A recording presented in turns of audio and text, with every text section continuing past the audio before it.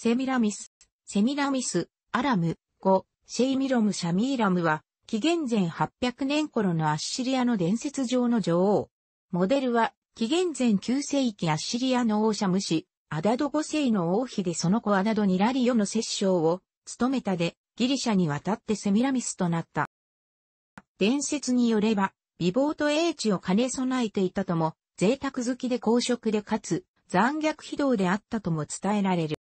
世界の七不思議の一つ、バビロンの空中庭園を作らせたと言われる。シリアの魚の女神アシュケロンの別名、アタルタギスと、とあるシリア人との間にできた娘であるとされ、デルケ島と勝ったのは、川の神カユストロスという説もある。幼くして捨てられ、鳩によって育てられた。セミラミスは、アッシリア語で、鳩を意味する。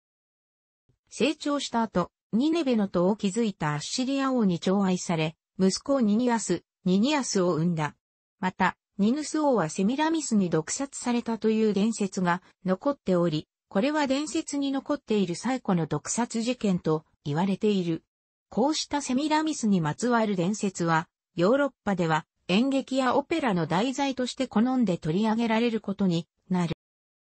しかし最後は、ニニアスによって暴殺されたとも信託により、息子の謀反を知って、彼に王位を譲り、鳩となって昇天したとも伝えられる。62歳没、在位は42年間に及んだという。15世紀初頭のサルッツォ公爵トンマーゾー三世による著作、変歴の騎士では、9人の女傑の一人に数えられる。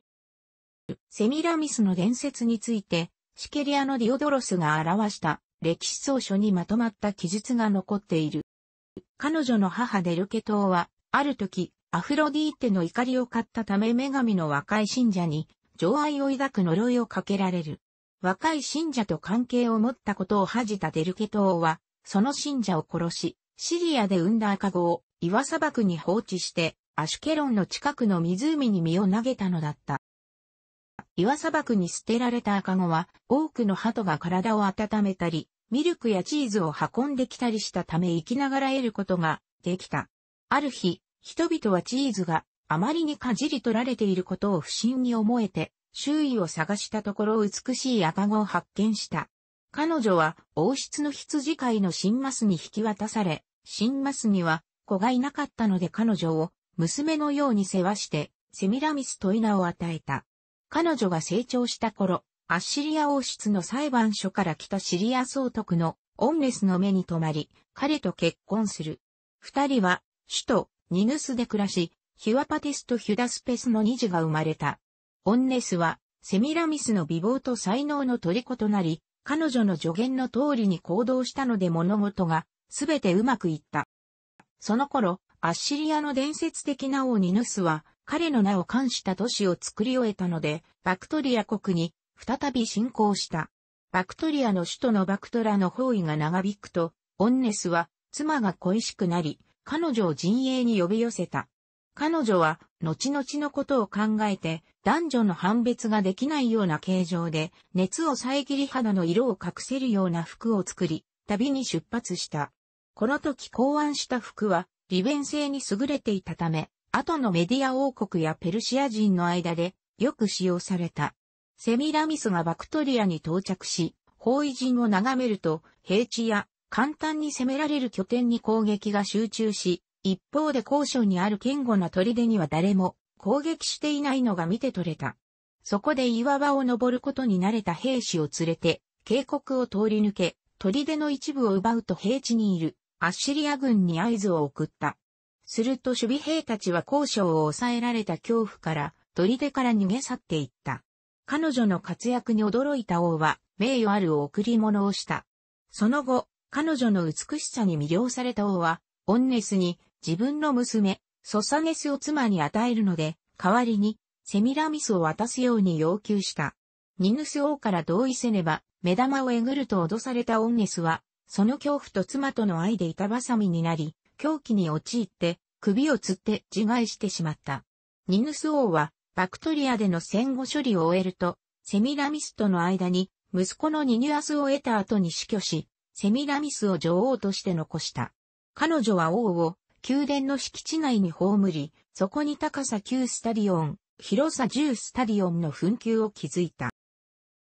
女王となったセミラミスは、ニヌス王の業績を超えるという野心を抱き、バビロニアに都市を建築することを決意して、世界中から熟達した職人と200万人の男性を集めた。そうしてユーフラテス川を中心に、バビロニアの各都市の周りに長大な城壁や塔、橋、宮殿や寺院を建設した。都市の中央はユーフラテス川に両断されており、西の王宮は三重の内壁に様々な動物やニヌス王とセミラミスが狩りを行う様子の浮き彫りが作られた。東の王宮にはニヌス、セミラミス、帝神の他現地でベロスと呼ばれるゼウスのブロンズ像が立ちんだ。また、ユーフラテス川とティグリス川に沿って都市を作り商人たちのための取引所を設立した。さらに、アルメニアの山々から巨石を切り出し、バビロニアにオベリスクを建てた。これは、歴史総書の中で世界の七不思議の一つに数えられている。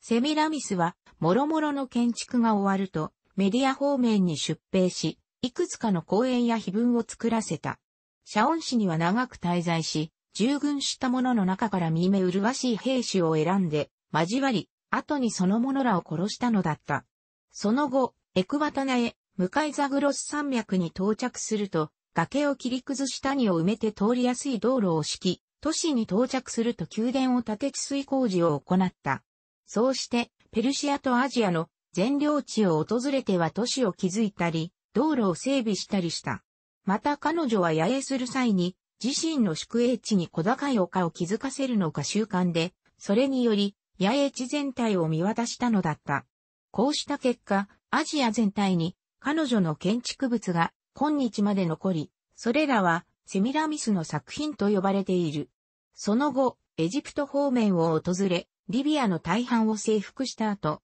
エジプトのシワオアシスにあるゼウスアモン神殿で自身の最後について信託を求め、それによると、セミラミスは男たちの中から消え、アジアで不滅の栄転を得る。そして息子のニニュアスが彼女に陰謀を企てる時が最後となるというものだった。エチオピアに無意もろもろの仕事が終わると、バクトラに帰還した。しばし平和が続いたことからセミラミスは、戦争による領土拡大の野心を持つようになり、世界最大の国と噂のインドへの遠征を計画した。当時のインド王、スタブロベテスは、彼の意のままに扱える、無数の兵士と多くの像、そしてそれらを飾る素晴らしい武具を備えていた。セミラミスは、インドの強大な国力を知ると、3年をかけて、領土の国家に装備の充実と造船を命じた。また像に対抗して騎兵の恐怖を煽るために、極秘裏に、牛の皮を縫い合わせ藁を詰めた巨大な人形を折らせた。それは中に人とラクダが入り、ラクダの力で動いたので遠目からは巨大な獣のように見せることができた。そうして準備が整うと、バクトリアに300万の兵士と20万の騎兵、10万の戦車を集め出陣した。スタブロベテス王の方でもアッシリア型の戦争準備を聞きつけると船や像、武器の量を増やして対抗し、準備が整うと進軍中のセミラミスに死者を送り、手紙の中で彼女を攻撃者と非難し、また娼婦と罵倒して、勝利の暁には神の立ち会いのもと貼り付けにすると脅した。セミラミスは手紙を読むと笑いながら、インド人は私の勇気を試すことになると言い取り合わなかった。遠征軍がインダス川に到着すると激しい戦闘が始まり、最終的にアッシリアが勝利を収めて、約千の小舟を破壊し、多くの都市を落として10万の捕虜を獲得した。スタブロベテス王は怯えて撤退するように見せかけると、セミラミスは橋に6万を残して、偽の巨像を梅雨払いに進軍した。しかし、当初は巨像の存在に悩んだインド側も、アッシリア軍からの脱走兵の情報で巨像の偽装を知ると隊列を整え迎撃の構えを取った。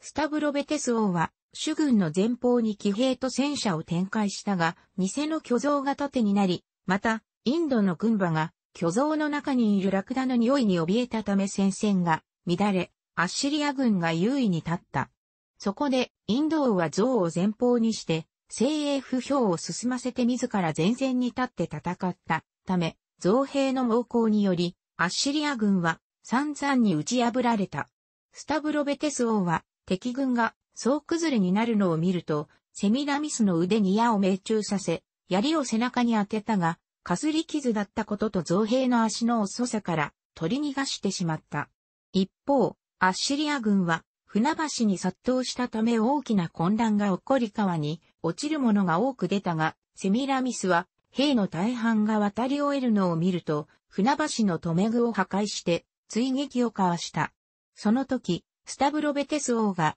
トカを禁ずるという典型を得て、軍を止めたため、セミラミスは捕虜を交換して、バクトラに帰還した。この戦いにより彼女は兵士の3分の2を失ってしまった。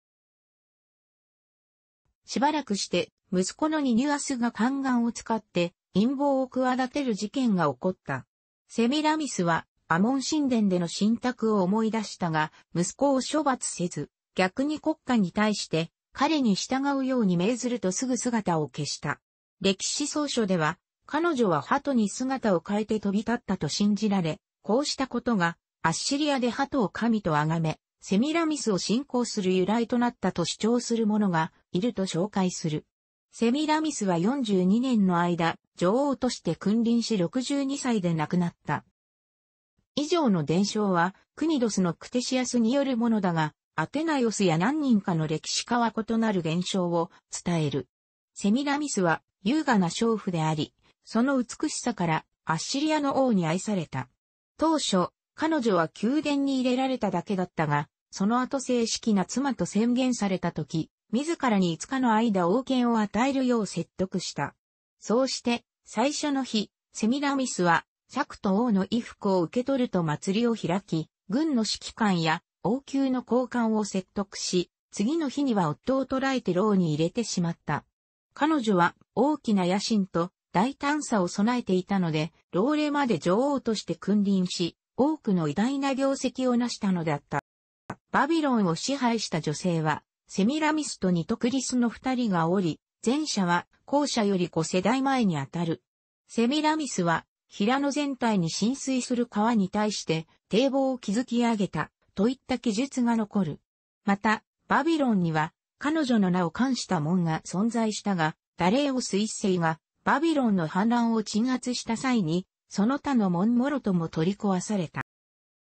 紀元前2053年、ローマ建国紀元前1300年バクトリアの町を攻撃中に矢が元でニヌス王が死ぬと彼の妻であったセミラミスが後を継ぎ、退位するまで息子と共に40年の間、人々の血を使って残酷に国を支配した。彼女は女性という枠組みにとらわれず、夫から継承した戦士でエチオピアと戦争して、領土に加えた。また、インドと戦争をもたらしたが、それは彼女以外では、アレキサンダー大王でさえも成し得なかった。その頃は、現在よりも残酷で、平和に暮らす人々を殺すことを求め、戦火が身近にあった。彼女の激しい色欲と残虐さにより、絶え間ない陰美と殺人が続き、ついに息子との間の近親相関が周囲に露見した。そこで彼女は誰もが親と子の間であっても自由に結婚できるように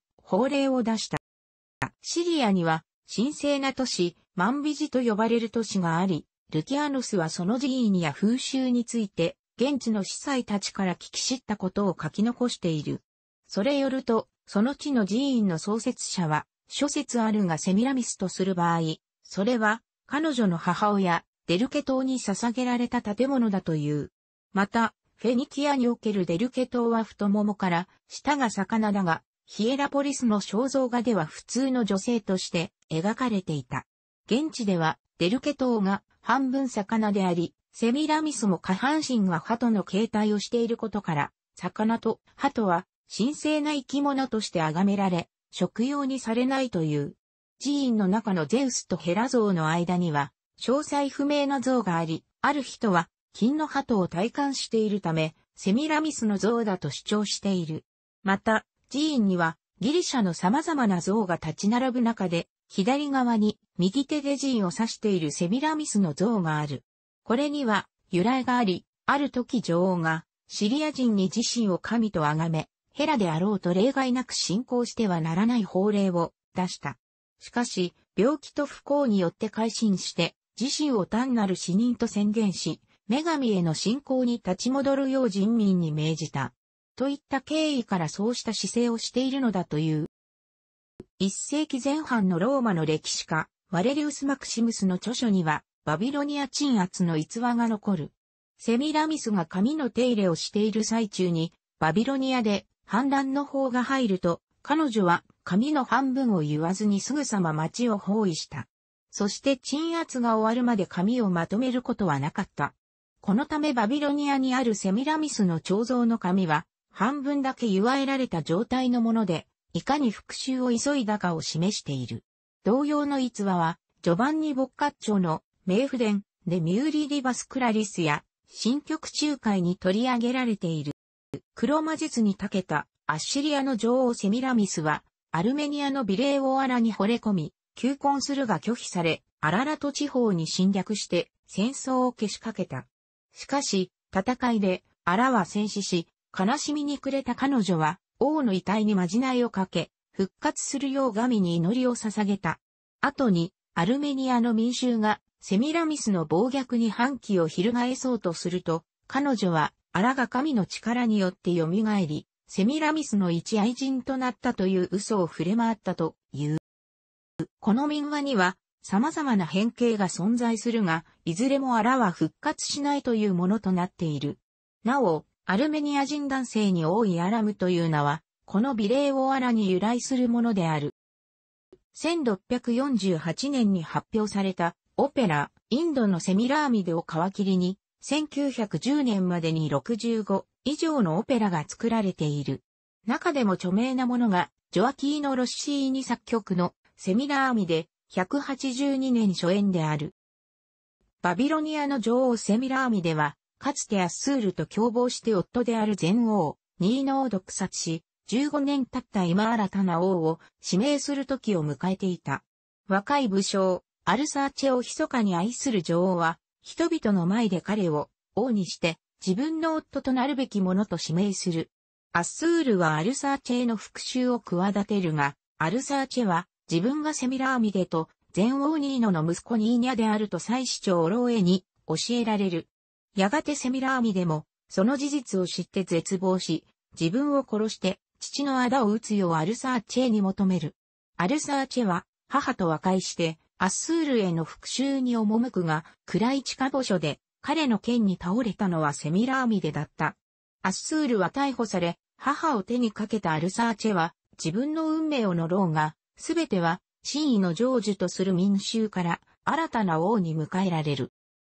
放題、風雲のバビロン1954年に、イタリアで公開された。現代、セミーラミス・エスクラーバ・エレーヌ、英語題名、クイーン・オブ・バビロン。アッシリアの森に住む娘セミラミスは、バビロン王、アシュールの兵士に追われる若い酋長アマールを救い、ホラー穴の中にかくまい、二人は愛し合った。セミラミスはかくまった罪で、バビロンに連行されたが王に見初められ、高級に入る。その後、王宮に忍んできたアマールとの再会を喜び、後日改めて会う日時と場所を定めた。しかし、当日は王にはべらなければならず、威訳の胸を王の愛称、リジアに託したためアマールは旅衆のみとなってしまう。王から正式な王妃へと求められると囚人の解放を望んだが、王はアマールにワニとの決闘で勝てばという条件で許した。死闘の末、アマールは勝利したが彼は寺院建立の労役に送られてしまった。セミラミスは密かにアマールに相変わらぬ愛を告げたが、バビロンに戻ると王が暗殺されており、その罪を着せられてしまう。改心したリジアの法によりセミラミスの危機を知ったアマールは州を率いて家計から救い、王宮の関心らも滅ぼしてバビロンに平和が戻った。楽しくご覧になりましたら、購読と良いです。クリックしてください。